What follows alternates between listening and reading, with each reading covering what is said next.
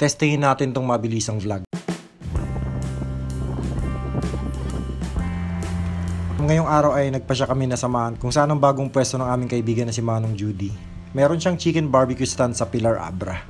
Malapit lang daw yun eh. Matarik pala ang mga daan paakyat doon via nagbukel. Literal na bundok ang lusutan. Napakasipag talaga nitong aming kaibigan. Bukod doon ay mabait din na human being in general.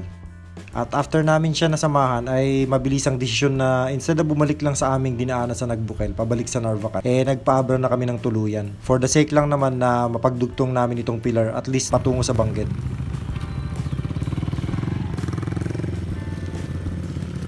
Nakarating kami ng medyo hapon na. Natatambay lang sana kami sa ilog. Ayan na nga't naka-shorts at tsinelas lang ako. Enticing masyado para hindi magtampisaw.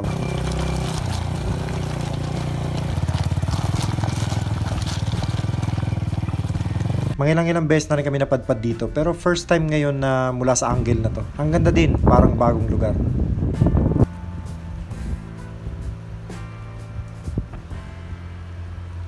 Okay lang.